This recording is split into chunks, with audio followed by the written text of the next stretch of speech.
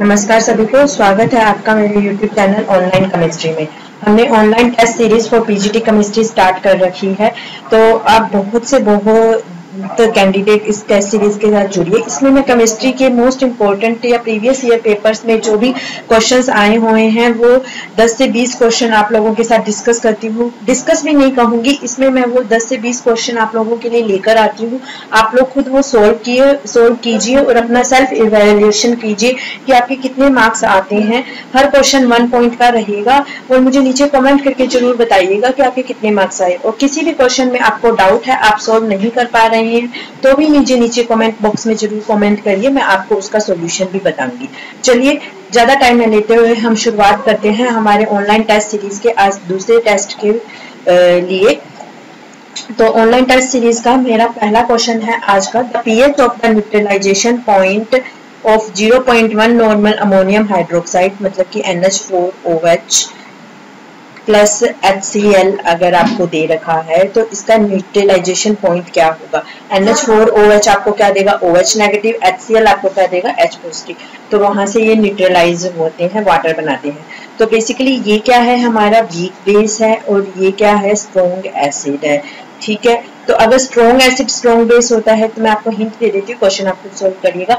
ठीक है? तो अगर स्ट्रॉन्ग ऐसे स्ट्रॉन्ग बेस होता है तो जो पीएच होती है, वो न्यूट्रलाइजेशन पॉइंट जो होता है पीएच का वहाँ पे सेवन होता है, क्योंकि वो स्ट्रॉन्ग ऐसे स्ट्रॉन्ग बेस में तो इमीडिएटली वो कम्प्लीटली न्यूट्रलाइज हो जाता है और एच टू बनता है, ठीक है? लेकिन यहाँ पे क्या है, अब हमारा बट यहाँ पे H2O नहीं H2O तो बनता है बट यहाँ पे हमारी पीएच सेवन नहीं होगी, क्योंकि NH4OH कम्प्लीटली OH नेगेटिव नहीं देते डिसोशिएट नहीं होता वीकली डिसोशिएट होता है। HCl स्ट्रॉन्ग एसिड है तो एसिडिक पीएच ज़्यादा रहेगी, क्योंकि H पॉजिटिव ज़्यादा होंगे। तो अब आप देख लीजिए कि आठ और नौ और सात और छह, इनमें से एसिडिक पीएच सात से कम जो होते हैं, उनकी क्या होती है? एसिडिक पीएच होती है। तो आपको उस हिसाब से सोल्व नहीं करना, अपना कॉन्सेप्ट लगाकर यहाँ पे आंसर निकालना है। चलिए बढ़ते हैं दूसरे क्वेश्चन की ओर। Which of the following is not expected to show paramagnetism paramagnetism क्या होता है? अनुचुंबकीय गुण।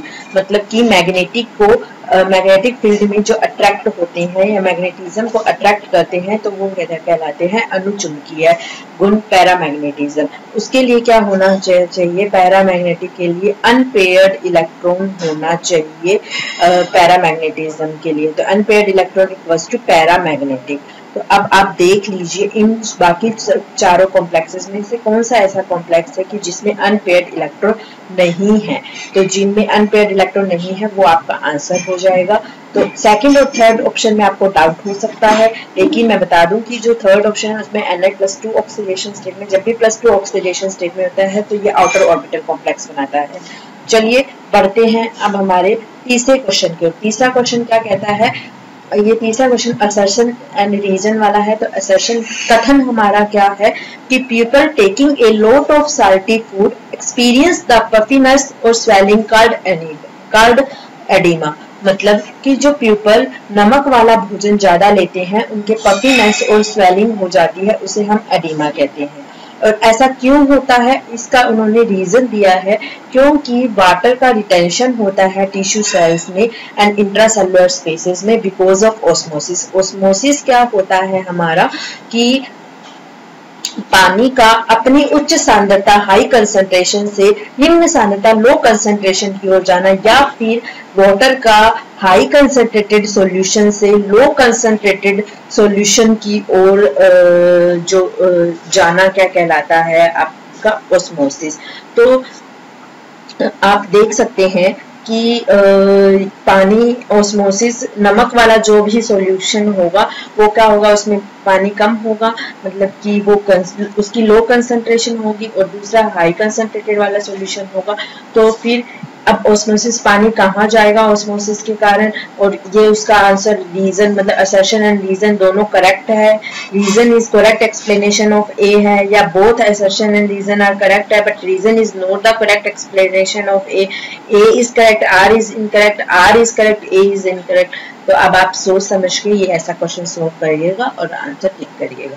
चलिए बढ़ते हैं फोर्थ क्वेश्चन की तरफ़। Which of the following statement is false इनमें से फ़र्स्ट स्टेटमेंट कौन सा है कि London smoke is oxidizing in nature London smoke causes bronchitis London smoke is found in winter London smoke contains एस्ट्रेस of droplets तो मैं आपको बता दूँ कि जो स्मोक होता है, वो बेसिकली टू टाइप का होता है। स्मोक एक होता है लंदन स्मोक, एक होता है फोटोकेमिकल स्मोक ठीक है? लंदन स्मोक में basically SO2 and carbon particle होते हैं वो विंटर्स में बनता है। ये फोटोकेमिकल स्मोक जैसे कि नाम से ही है, पता चलता है। ये क्या होता है? लाइट की प्रेजेंस में बनता है और इसमें पर oxyacetyl nitrate R C W nitrate R C W NO two होता है। तो पर ऑक्सीएसिटाइल नाइट्रेट होने के कारण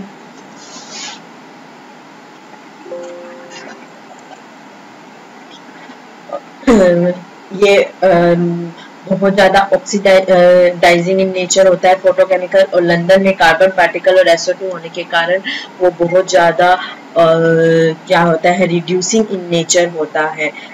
ठीक है?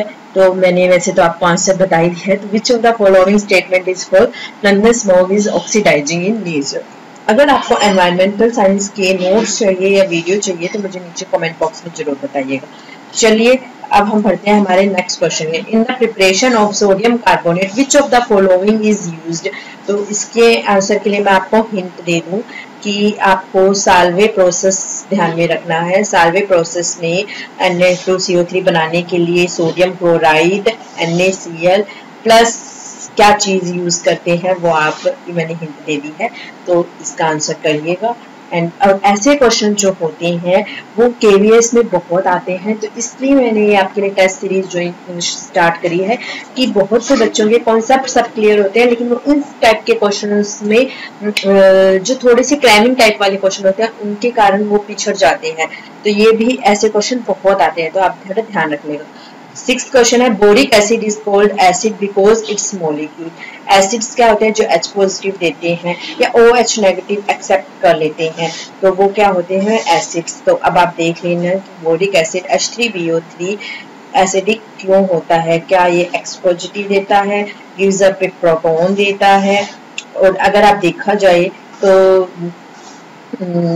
प्रोटोन देना एंड एच पॉजिटिव देना एक ही बात होती है। Accept O H negative ion form तो ऐसा मैं इसलिए कह रही हूँ कि कई बार दो ऑप्शन सेम भी होते हैं तो आप समझ जाते हैं कि आंसर क्या होना चाहिए। तो अपनी पूरी पूरी इंटेलिजेंसी का और प्रेजेंस ऑफ़ माइंड का यूज़ करते हुए हमेशा एग्ज़ाम देना चाहिए।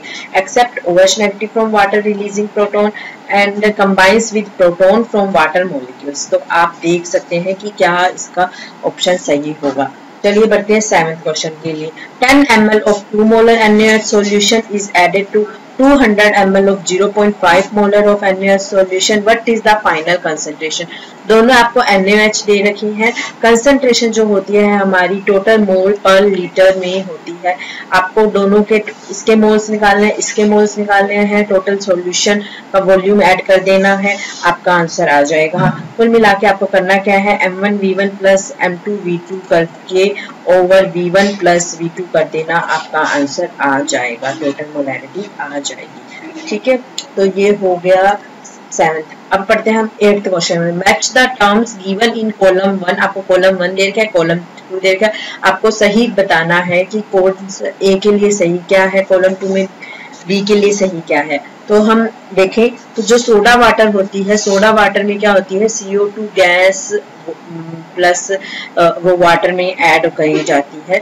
तो आप देख सकते हैं सोडा वाटर के लिए यहाँ पे गैस इन लिक्विड क्या होगा? शुगर सॉल्यूशन में क्या होता है? शुगर डिजोल्व इन लिक्विड तो इस तरीके से जर्मन सिल्वर क्या होता है? Silver plus AG plus C U air क्या होती है? आपका मिक्सचर ऑफ़ गैसेज तो आप इस तरीके से हाइड्रोजन गैस इन पैलेडियम ये तो लिख ही दिया कि गैस ऑन सोलिड तो आप देख सकते हैं कौन सा सॉल्यूशन कौन सा ए के ऊपर सही, क्या बैठता है बी के ऊपर क्या बैठता है तो क्वेश्चन को सॉल्व करिएगा।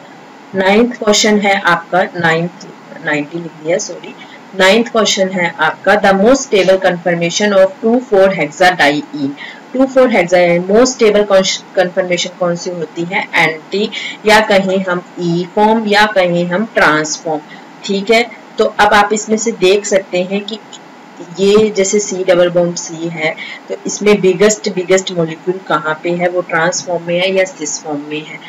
जैसे ये दोनों सी है तो बिगेस्ट कहाँ पे है? तो इस हिसाब से आप देखिए कि आपका सही आंसर क्या होगा। टेंथ इलेक्ट्रॉनिक कॉन्फ़िगरेशन ऑफ़ आपको चार element A B C D का इलेक्ट्रॉनिक कॉन्फ़िगरेशन दे रखा है और आपसे पूछ रखा है कि correct order of increasing tendency to gain electron क्या होगा? गेन इलेक्ट्रॉन मतलब इलेक्ट्रॉन को एक्सेप्ट कौन करेगा? यानी कि इलेक्ट्रॉन जो बंधुता है या इलेक्ट्रॉन एंथैल्पी है, वो किसकी हाईएस्ट होगी तो जो इलेक्ट्रॉन एंथैल्पी है, वो हमेशा पीरियड्स में जाने पे बढ़ती है एंड ग्रुप में जाने पे पीरियड्स में जाने पे बढ़ती है एंड ग्रुप में जाने पे क्या होती है? डिक्रीज होती है इलेक्ट्रॉन बंधुता या इलेक्ट्रॉन एफिनिटी ठीक है? तो अब आप देख सकते हैं कि ये हेलोजन है। हेलोजन की हाईएस्ट इलेक्ट्रॉन एफिनिटी होती है, फिर ऑक्सीजन की एंड फिर उसके बाद एस ब्लॉक एंड जो नोबल गैसेस होती है, उनकी इलेक्ट्रॉन एंथैल्पी ज़ीरो होती है। क्यों ज़ीरो होती है? क्योंकि they don't require any electron they are already stable configuration तो ये थे हमारे टेन क्वेश्चन ये है हमारी आंसर शीट जहाँ पे मैंने इन दस के दस क्वेश्चन के आंसर आपको लिख दिए हैं। ज़रूर से ये सभी क्वेश्चन सॉल्व करिएगा एंड सही अपने आंसर एक पेज पे लिखिएगा एंड लास्ट में मैच करिएगा और देखिएगा आपके कितने पॉइंट्स आए। और ज़रूर मुझे दोस्तों नीचे कमेंट करके बताइएगा कि आपको ये एफर्ट ऑनलाइन टेस्ट सीरीज़ कैसी लग रही है, ताकि मैं बहुत ज़्यादा मोटिवेटेड रहूँ ऐसी टेस्ट सीरीज़ आपके लिए और लाने के लिए। चलिए मिलती हूँ मेरे नेक्स्ट वीडियो में, तब तक के लिए जय हिंद, जय भारत।